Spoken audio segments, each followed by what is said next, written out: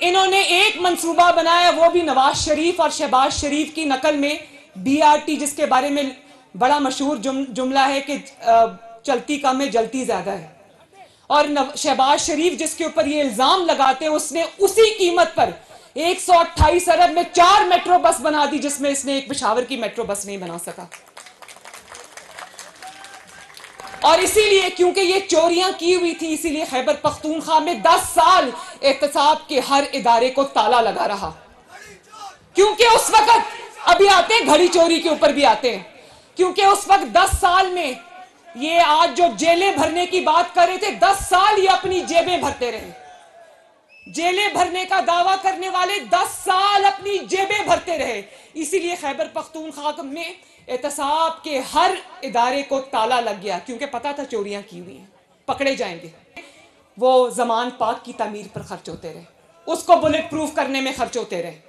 जो आपकी हिफाजत पे पैसा खर्च होना था, वो इमरान खान की हिफाजत पे खर्च होता रहा। ये कहाँ का इंसाफ है? और आज जब आपसे सवाल पूछा जाता है तो आप कहते हैं, मैं जवाब नहीं दूँगा? जवाब तो देना पड़ेगा। और मवाजना करना है तो 2022 से 2023 का मुआवजना नहीं होगा, हजारा वालों। मुआवजना होगा तो शहबाज शरीफ के पंजाब के 10 साल और इमरान खान के, खैबर पख्तूनख्वा के 10 साल का मुआवजना होगा।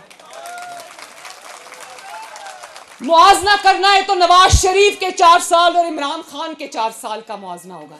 तो लोगों को लग पता जाएगा कि इस इस मुल्क की, इस सूबे की बर्बादी का जिम्मेदार इमरान खान है। मुझे बड़ी तकलीफ़ होती है, मैं इस शख्स का नाम भी लेना नहीं चाहती। बिल्कुल नहीं लेना चाहिए, लेकिन लोगों को बताना चाहिए कि तुम्हारी तबाही का जिम्मेदार कौन है। लोगों को यह पता होना चाहिए कि आज जो रोज टीवी पर बैठ कर खताब करता है, अपने दौरे हुकूमत में चार साल और खैबर पख्तूनख्वा में दस साल, ये क्या जुल्म करता रहा लोगों के साथ।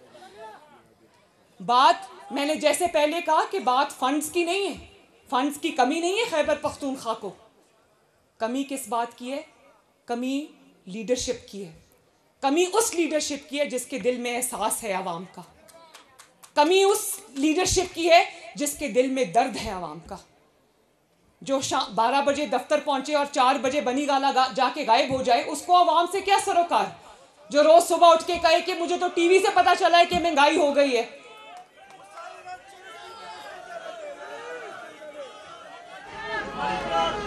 बात सिर्फ़ नीयत की है, बात सिर्फ़ खिदमत की नीयत की है। ना इनकी नीयत साफ़ है और ना इनका दामन साफ़ है।